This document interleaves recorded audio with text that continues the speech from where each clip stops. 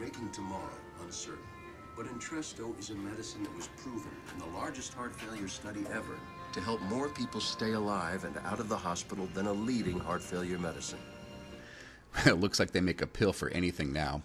So my electronics here in the backyard patio are working great off my micro solar generator, solar panel.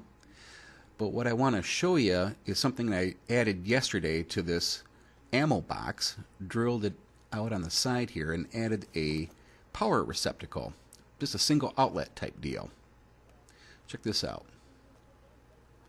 It works pretty good. It has an IP20 and IP54 rating. See here? This is I got it off of Amazon. It was like less than 20 bucks. And they also make some big ones, heavier duty ones that are pretty slick too for about $39. Yikes. But uh, this one's essentially a basic unit.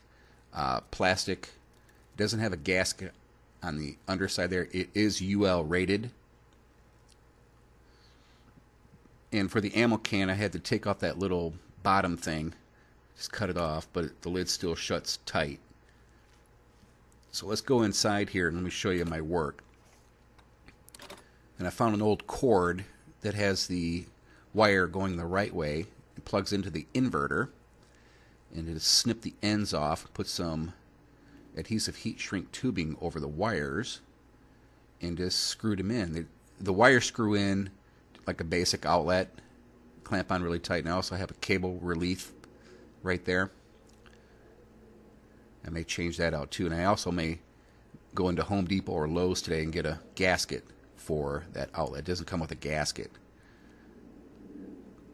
But those things are not cheap. You know, you could put a standard outlet in there with a outdoor cover and gasket material on there. I just don't have the room for it.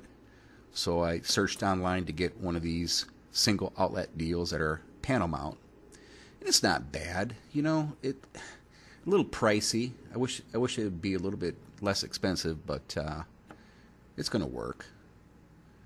Wish it really, I really wish it was metal though. That's the one thing I I do wish it was. So, yeah, the box is looking pretty good. I just leave it outside. Put some WD-40 on the lid gasket material. So, all right, guys. Hey, thanks for watching, and uh, hope you enjoyed the video. And see you later.